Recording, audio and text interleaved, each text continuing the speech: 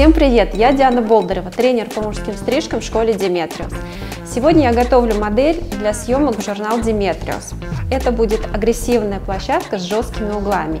Если вы еще не видели конечный результат, то переходите по ссылке в электронную версию журнала Demetrius в описании под видео.